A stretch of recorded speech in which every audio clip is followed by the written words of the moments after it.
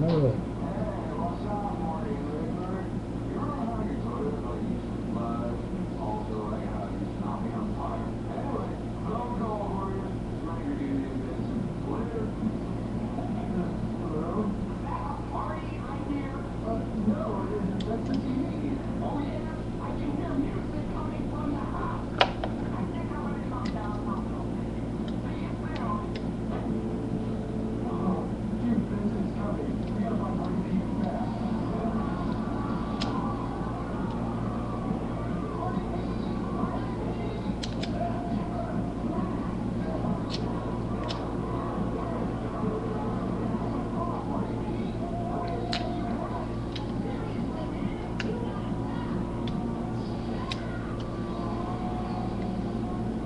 hear the pitter patters of a horse.